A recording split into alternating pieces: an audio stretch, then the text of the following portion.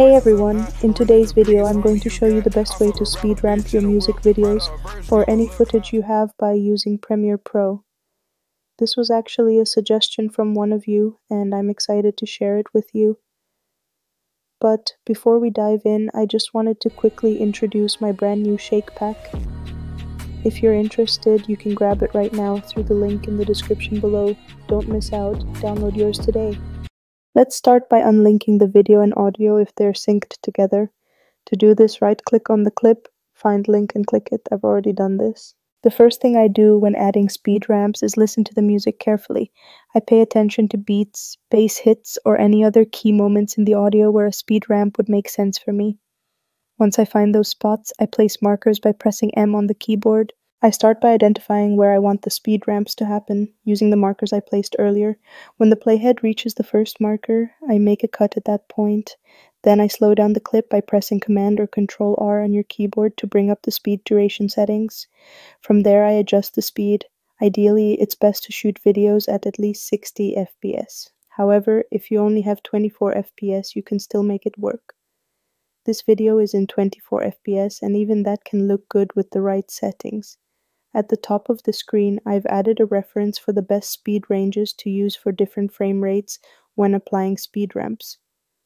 Right now, I'm setting the speed to 40%. This is what I consider a golden middle ground that works well for 100 FPS, 60 FPS, and even 24 FPS. Since this clip is in 24 FPS, I also changed the time interpolation setting from frame sampling to optical flow for better outcome. At this point we need to make a cut on the second marker, then again press Command R and speed up the clip to around 600%. However, as you can see the result looks very choppy and we don't want to leave it like this. To make it smoother and more visually appealing, the first effect we're going to apply is Echo. Open the effects panel, search for Echo and drag it onto the clip. Now in the effects control panel we need to adjust the echo settings to get the best look. For echo time, set this to minus 0.043, number of echoes increase to 5, decay adjust to 80 present, so 0.80 echo operator, change it from add to maximum. Now we've got an effect looking like this for our speed ramp and you guys can adjust this to your liking. Now we add the next clip and repeat the same process. At the end we'll again speed up the clip and apply the echo effect. This creates a smooth, fast-paced transition.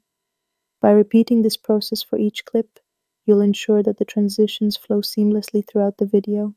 To avoid re-entering the echo effect settings repeatedly, we can simply duplicate the effect. So move to a clip that already has the echo effect applied, press Command C to copy the effect, then move to the next sped up clip and paste it with Command V. This way, you can quickly apply the same echo settings to all your sped up clips without having to adjust them each time. We're almost done and it's looking pretty decent, but it can always be improved a little more. One way to enhance it is by adding a flash effect. First, we'll add an adjustment layer. Go to New Item and select Adjustment Layer. For the duration, I usually keep it between 6 to 8 frames long.